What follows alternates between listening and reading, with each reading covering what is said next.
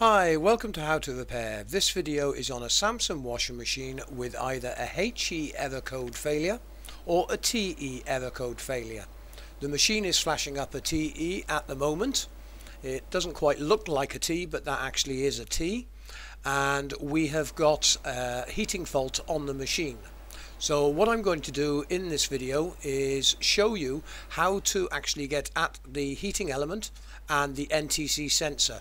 You may also have a fault with the actual circuit board, but the first thing to check is check the wiring, the heating element and the NTC sensor. Before starting any work, make sure you unplug the machine from the electricity supply. And now we're going to remove the lid. And because the machine has timed out on one of these two failures, we are going to need to take the kick strip off and drain the machine down because the machine would already be full of water and your clothes most probably stuck in the machine. So we're just actually using the drain pipe, let the machine drain down and then you can start work on the machine. Right, there's two screws inside the soap drawer here. These two screws are stainless steel, so make sure they go back into the correct holes.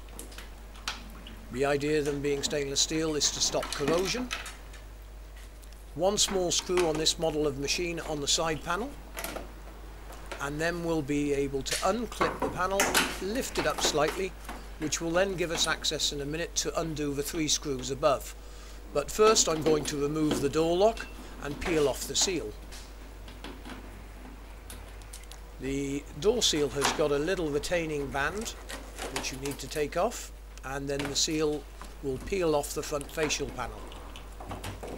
While I'm actually uh, removing this front panel, do remember if you do need any parts for your machine, we will need the full model number uh, off the machine and sometimes we will need the serial number.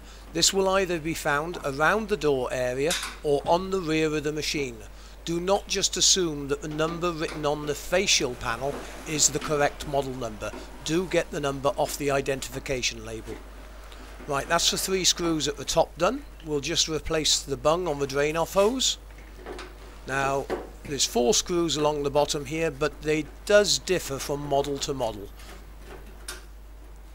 I can't make a video on every machine. Then just lift the panel up off the clip and it comes away. Now this exposes the front half of the drum. We normally have two wires on the element itself and then an NTC sensor that fits into the element and there should also be an earth wire.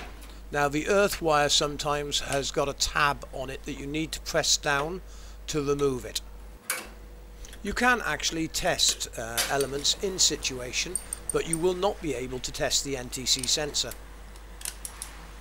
Right, using a 10mm socket or spanner, you need to undo the nut all the way to the very end of the threads, but do not remove it. Then give it a tap towards the inside of the machine. This will allow the pressure to come off the seal and allow you to remove the element. On the website we have other videos showing you in more detail how to test elements and also how to test NTC sensors but I'll take you through the basics now. Turning your meter to continuity, you will be able to do a test across the two terminals on the element to make sure that you have a field. As you can see, we have a reading. So the element in theory here is good. Now, with the NTC sensor, turn your meter to ohms, go across the two terminals, and just a quick check by putting your finger on the actual part of the NTC sensor that goes into the machine after a few seconds your body temperature will heat up the NTC sensor and you will see the reading start to drop. This means that the functionality of the NTC sensor is working correctly but we do not know if it is working within its parameters. Now the element itself slides back in underneath a retention bar. You can see the bar running across the machine there and the element slides underneath this. Now a good technique is to put a little bit of fairy liquid once you've replaced the part that you need to on your machine on the seal before inserting it. Make sure you line it up with the retention bar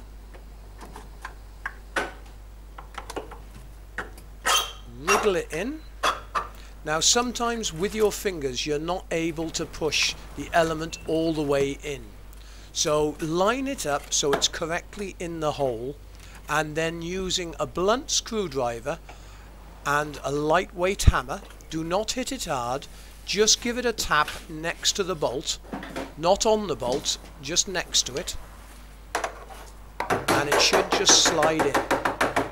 And there we go now all you need to do is do the 10mm nut up and replace the wiring. The actual fault with this machine by the way was it was actually overheating and the NTC sensor was giving a false reading to the circuit board. So I've replaced the NTC sensor. The element was good as I said and now we'll put the whole machine back together.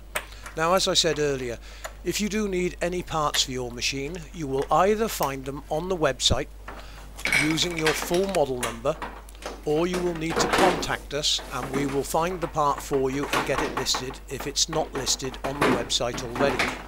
But we will need the full model number off the identification plate and it's a good idea to send us the serial number as well.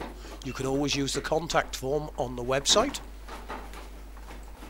Once you've got the panel back on, uh, make sure it's lined up on the clips and then replace the screws. As I said, three on the top, four on the bottom on this model of the machine, but they will vary from model to model. And make sure you replace the screws with the same ones that came out. Now at the website we have lots of videos on Samsung faults and we're able to supply all the parts for your machine. Just noting here to get the facial panel on it needs to clip in to the lower panel. There's a couple of lugs on it.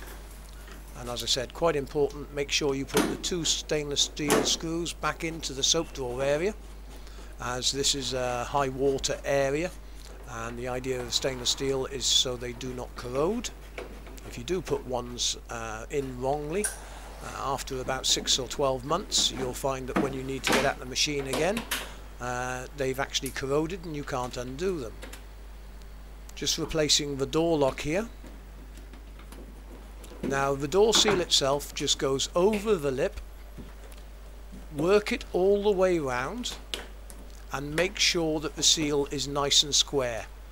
And when putting the band on make sure the spring is basically at 7 o'clock on the bottom of the machine. You will need to stretch the band over and it's a good idea to use a small screwdriver make sure not to damage the lip of the seal itself. And that goes on. And there you go. Thanks very much indeed for watching this video. I hope you found it helpful. And if you did you can always donate to the website by buying us a beer. Thanks very much indeed for watching this video